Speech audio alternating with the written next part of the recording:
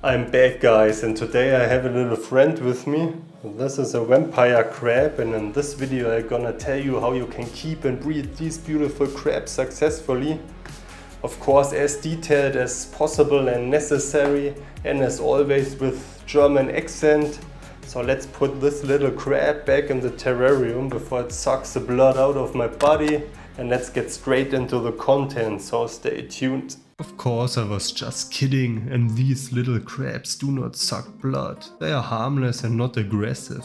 They are even good to handle because their claws are not really big enough to hurt human beings. The name has nothing to do with their feeding habits, but rather with their bright contrastingly yellow or orange eyes of some Geosesarma species. In this guide I will focus on Geosesarma dennerle because this is a species I keep. But they all have very similar demands regarding their environment they mainly differ in their coloration. But first of all some basics that you need to know in order to be able to set up an optimal vivarium for the crabs later. The distribution area of these little crabs extends from Sri Lanka to a large part of Southeast Asia. Vampire crabs are predominantly terrestrial, but most species need at least a small source of fresh water. In their natural habitat they live in rainforests next to rivers and streams. They prefer swampy areas where the ground layer and the water provide sufficient food sources and places to hide. So let's go a little bit more into detail how to keep and breed these beautiful crabs. I have divided the video into 7 main chapters. Chapter 1 Geosesarma dennerle Geosesarma dennerle the most beautiful vampire crab for me and with a maximum carapace size of 2.5 centimeters or 1 inch, they are also one of the larger species. The coloration of the carapace is mostly yellow to salmon, but I have also seen animals which had a predominantly dark carapace. The legs and the claws are purple, in most cases, the claws of the male crabs are larger. The most eye-catching feature of these crabs are probably the yellow or orange colored eyes. The life expectancy in captivity is approximately 3 years. A lot of people say that these crabs are nocturnal, but in my opinion that's not 100% correct. They just don't like too bright light the crabs love to hide under stones, roots or in burrows they have dug themselves. But as already mentioned, if the light is not too bright you can also observe them during the daytime. Chapter 2 How to set up a tank for vampire crabs. Guys, let's directly continue with the probably most complex chapter. As already mentioned, vampire crabs come from the warm humid tropics with little temperature fluctuations throughout the year. Even at night the temperature only drops moderately. This fact is crucial when setting up a terrarium for vampire crabs. The probably best way to set up a terrarium for vampire crabs is using a terrarium made of glass. Glass can resist the high humidity and allows the water part to be created. For a small group of 3 animals, a well-structured tank with a ground area of 30 cm by 30 cm is sufficient. But this size should really be considered as minimum requirement. I would rather recommend using a tank size of 60 cm by 30 cm for a group of 5 crabs. Of course a larger terrarium can always be chosen for the well-being of the animals. You can also significantly increase the space for the crabs by creating a back wall for the terrarium. The back wall not only looks good if you design and plant it accordingly, but also offers the crabs plenty of additional space to climb and retreat. Many species are excellent climbers. You can easily build a back wall with the styrofoam plate as basis, some pieces of wood and some pots for plants. Then you can use expanding foam to design the back wall and fix all the components. Afterwards use a sharp knife, or tool to cut the shiny surface of the foam. Then use silicone and coconut fiber or any other kind of terrarium substrate to cover the foam. Guys, this was only a really simplified instruction. The design of a back wall is probably a topic for a separate video. You shouldn't skimp on substrate when setting up a terrarium for vampire crabs. Many species like to build burrows and a higher layer of soil is essential for this. Possible materials are coconut soil, terrarium soil, coconut husks, sphagnum moss, or a mixture of different materials, you should definitely put some tropical springtails and tropical isopods into the terrarium. These tiny creatures are really beneficial and important because they keep the terrarium clean for you. Springtails prevent the formation of mold and are a good source of living food for young crabs. Isopods eat leftovers in the terrarium and sometimes also end up as live food themselves. The terrarium should also have a drainage layer to avoid that the soil becomes too marshy. As drainage layer, expanded clay is a good choice. The drainage layer should be the bottom layer and needs to be separated from the soil with a thin layer of anti-weed fabric for instance. On top of the soil you can add some leaf litter and botanicals. This additional layer looks very natural and provides additional places for the crabs to retreat and hide. In addition to that, you can structure the terrarium with wood, stones and rocks. Guys, make sure you build a lot of caves and barriers so the crabs can avoid each other. Of course you can also plant tropical plants into the substrate but more on this later. Vampire crabs are predominantly terrestrial crabs, but most species still need at least a small water part. Theoretically a bowl of water is sufficient. The water bowl must be deep enough so that the crab can submerge completely.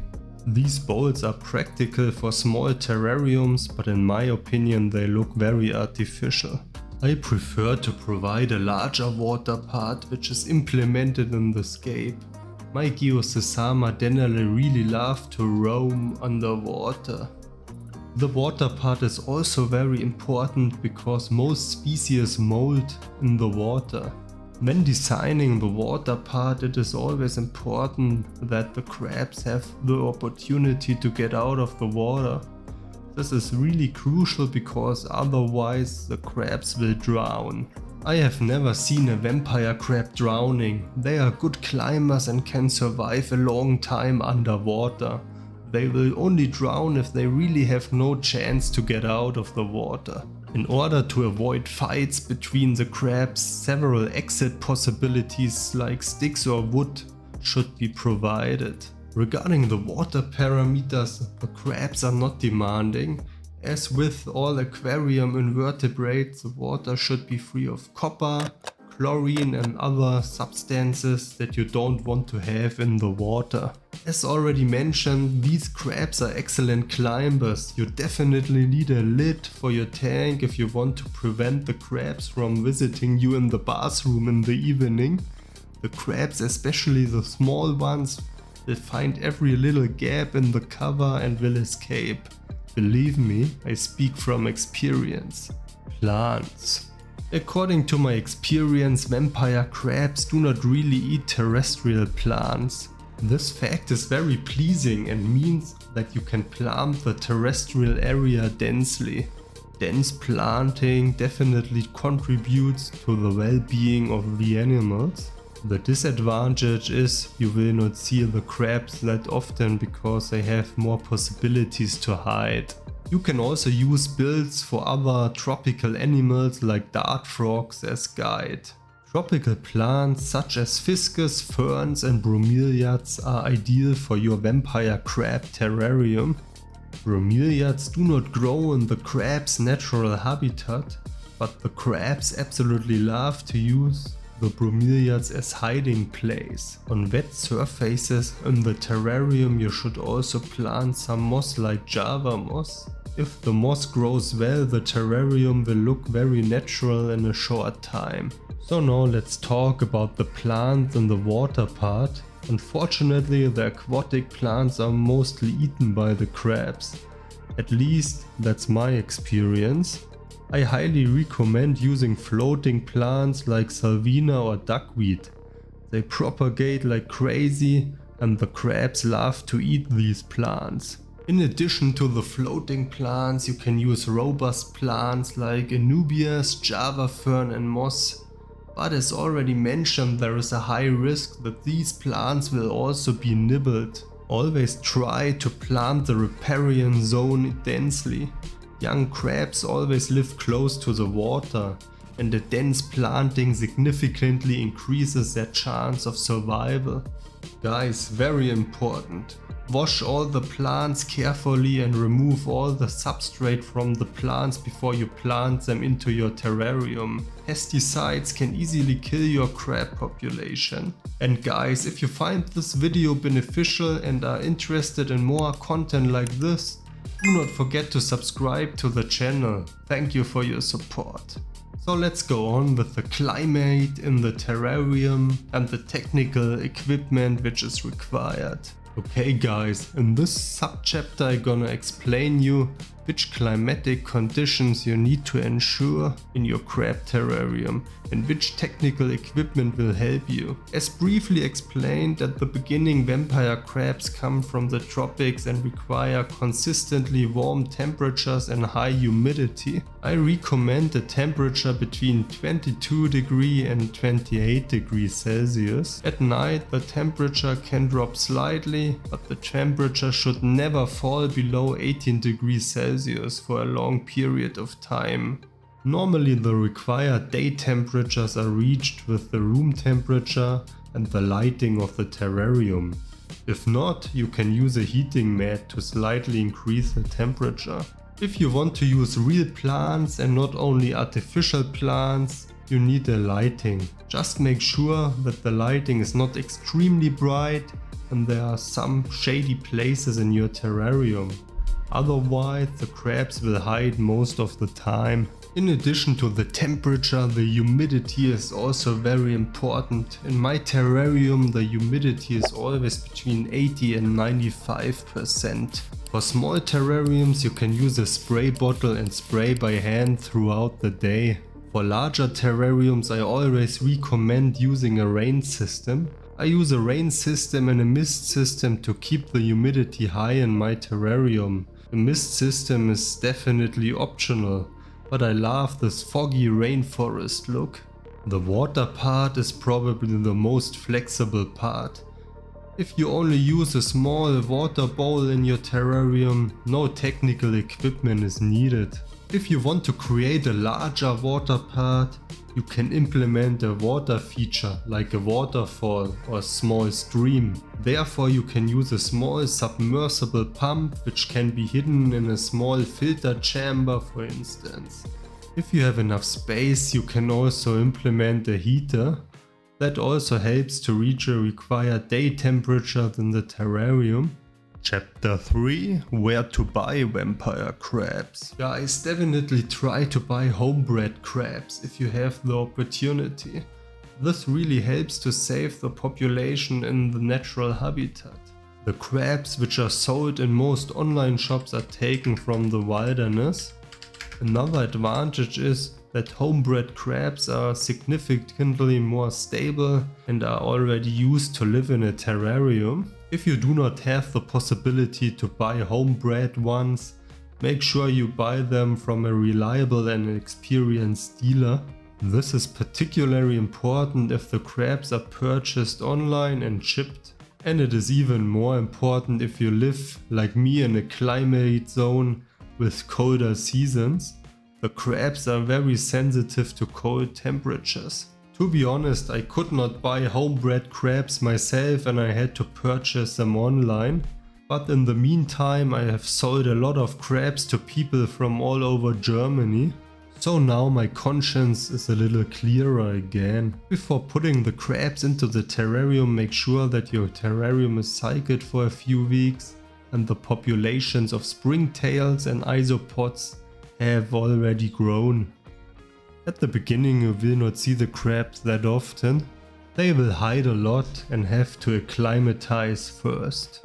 Guys, when I started keeping crabs I initially thought that all my crabs were dead because I didn't see them anymore. After a few weeks I discovered many small baby crabs in the bank area and I was very relieved. Chapter 4 Co-housing so now the crabs are in the terrarium, the question is what else can we put in the terrarium to make it more lively?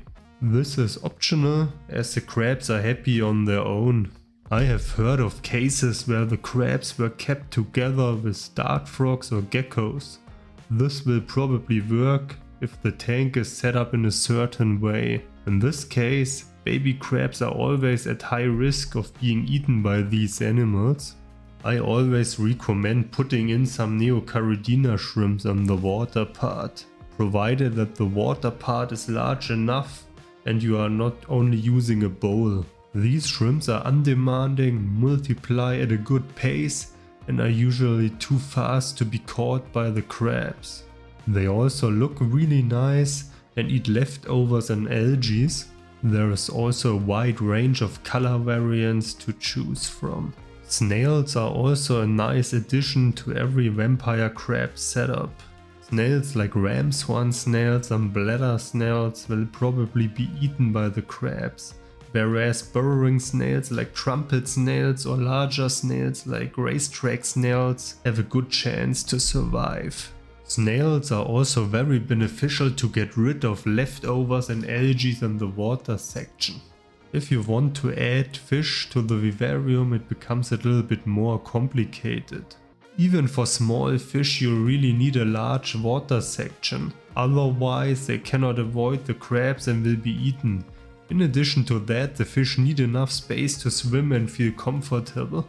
In case your water part is large enough, I can recommend fast agile fish like chili Chilirasboras or fish which have a high reproduction rate like guppies. But keep in mind that guppies are big enough and can easily eat your baby crabs. What you should definitely not do is mix different crab species.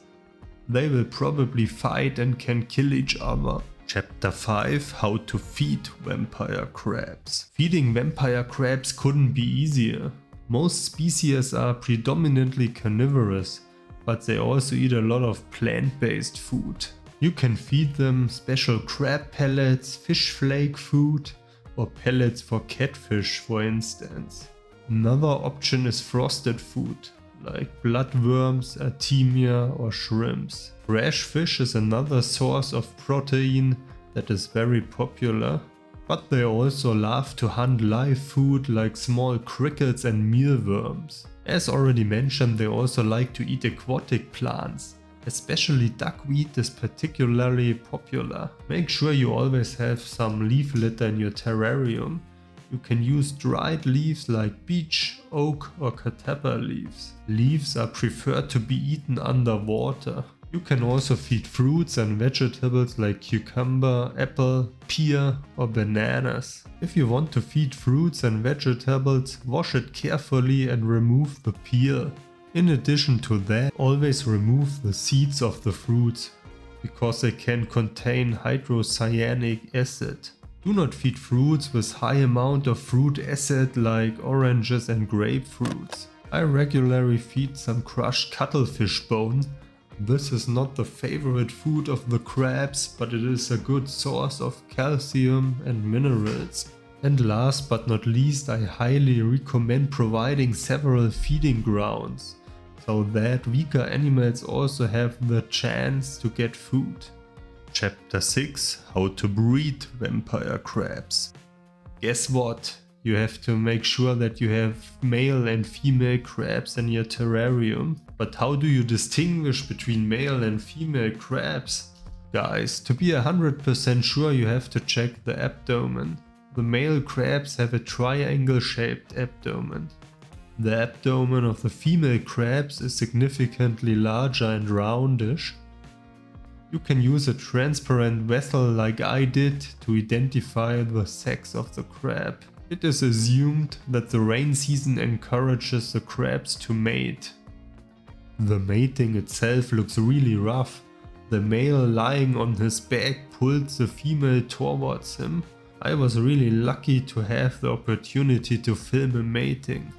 Ideally the mating worked and the female crabs carry their eggs until the baby crabs hatch. The whole brood care lasts approximately 3 to 4 months. The baby crabs are only a few millimeters in size and are almost transparent. The baby crabs are very tiny and hide next to the water most of the time. Vampire crabs are sometimes cannibalistic, that means that baby crabs are sometimes preyed upon by adult animals. If you want to ensure that most of the tiny baby crabs survive, the best way is to use a small breeding box. These boxes are quite cheap and you can set them up easily. Just fill in a layer of terrarium substrate, add some springtails and isopods and position a small bowl with water inside the box. Add some sphagnum moss and a little bit of wood and rocks to provide some places for the crabs to hide. And guys remember, the crabs always need a possibility to exit the water part. The climatic conditions in the box must correspond to the conditions in the terrarium. A high humidity and wet substrate like sphagnum moss are always beneficial. As soon the breeding box is set up, you can put in a female and a male crab or just catch a pregnant crab if you spot one in the terrarium. After the mating, the female crab normally lives withdrawn and hides a lot. After the young animals have hatched, adult crabs can be removed from the box. The male crab can theoretically be removed earlier. Now the baby crabs are isolated and can grow up without the risk of being eaten by the adult animals. Chapter 7 How to maintain the terrarium. Okay guys, the good news is maintaining a vampire crab terrarium is not really complicated, but some things still need to be taken into account. Check the temperature and the humidity regularly. If you do not have a rain system, use a bottle to moisten the terrarium regularly. If you use a rain system, make sure that the reservoir is filled with RO water and the rain interval is sufficient. If your setup has a larger water part, make regular water changes to guarantee good water quality. If you are just using a water bowl, replace the old water by fresh water. In case you use feeding bowls, make sure they are cleaned regularly. Okay guys, these are the most important insights I've gained in 3 years of keeping crabs. If you want to see how my huge paludarium for vampire crabs looks like, watch this video next. I hope the guide was helpful for you. Do you still have questions? Let me know in the comment section. I will answer as soon as possible. Thank you for watching and see you on the next one.